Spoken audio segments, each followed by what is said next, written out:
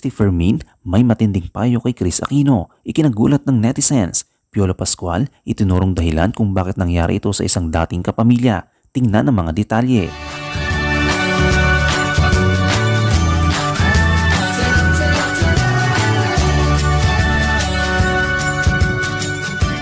Welcome to busygram.net. Huwag kalimutang i-like, i-share, i-follow at i-subscribe ang busygram.net para maging updated ka sa mga latest happenings. May mga shoutouts din tayo kaya tutok lang hanggang sa huli. Tila hindi na din napigilan ng isang kilalang marites ng Philippine showbiz na magkomento sa kasalukuyang lagay ng kalusugan ng Queen of All Media na si Chris Aquino. Sa kanyang latest na pahayag ay nagbigay ng isang payo si Christopher Min kay Chris Aquino na maaaring makatulong sa kanyang paggaling. Sa isang episode ng Christopher Minute, ang show ng veteranang talent manager, columnist at host ay napag-usapan ni na Christopher Minute at kasama niyang si Romel Chica ang tungkol sa kalusugan ng Queen of All Media na si Chris Aquino. Matatandaan na kamakailan nga lamang ay nagbahagi si Chris ng kanyang Instagram account sa update tungkol sa kanyang kalusugan. Sa pahayag ni Christopher Min ay naawa umano siya kay Chris Aquino nang makita niya ang nasabing post ni Chris Aquino. Ayon pa kay Manay Christie ay kung tutuusin umano ay nahihiga sa pera si Chris subalit heto't hirap pa rin tumatukoy ang luna sa kanyang sakit na kapagbabagsak ng kanyang katawan. Subalit sa kabila ng karamdaman ni Chris Aquino ay tumutulong pa rin ito sa mga nangangailangan lalo na ngayong panahon ng pandemic na kung saan ay namigay pa umano siya ng antigen test kit. Sa pahayag ni Christopher Min ay may ilang netizen raw ang nagsabi sa kanya na kausapin si Chris at payuhan na magpakonsulta sa albularyo. Sa kanyang pahayag ay sinabi, ang dami-dami na nga pong tumatawag sa akin, bakit daw hindi ko kausapin si Chris para magpagamot sa albularyo? Diyos ko, kung si Chris po ay tumatanggap pa ng ganoong salita, siguro po ay noon pa, nagpatingin na siya sa albularyo.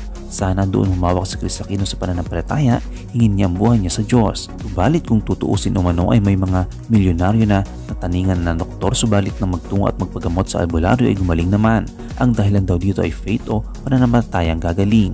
Samantala naman ibinigyan ng advance birthday celebration ng asap natin to ang aktor na si Piol Pascual na nagbalik sa nasabing show matapos ang maraming mga buwan sa pagkawala. Nag-welcome na rin ito umano ng programa sa aktor sa pagbabalik sa asap natin to after almost one year na hindi napanood sa longest Sunday variety show ng ABS-CBN. Nitong January 12 ang actual birthday ni Piol Pascual at kung hindi nagkakamali ay 45 years old na ang aktor. Naging trending ito lamang ang greetings ng kanyang forever fan at former personal assistant ng ilang taong nagdaan na si Moy Bien. Ayon kay Moy Bien ay sinabi, Happy birthday my mayor, you're the best and you're the yummiest, the yummier. I love you very very much. Ikaw lang yung habang tumatanda lalong sumasarap. Pag di ka nakapag-asawa tapos 50 years old ka na, nakulagot baka tayo talaga. Hindi naman nagpatalo ang TV host actress vlogger na si Alex Gonzaga. Malaki umano ang naging parte ni Piola Pascual sa pagkakaroon ng pamilya ni Alex. Si Piola Pascual ang nagpakilala kay Alex Gonzaga sa asawa nitong si Mikey Morada na kaibigan ng aktor. Sa pahayag ni Alex Gonzaga ay sinabi, Happy birthday Papa P at Piola Pascual PH kung hindi dahil sa iyo, wala akong asawa at kalandian ngayon. Marami kami nagmamahal sa iyo at natulungan at napasaya mo. Nagkomento naman ng mga netizens sa birthday greetings ni Alex Gonzaga para sa good catch daw ng bachelor actor. Ano ang masasabi mo kaugnay dito? Shoutout tayo kina Maria Mildred Alvarez, kay Prince Ken at kay Roberto Solis. I-comment mo lang ang inyong opinion sa comment section at huwag kalimutang i-like, i-follow, i-subscribe ang busygram.net para sa mga latest happenings.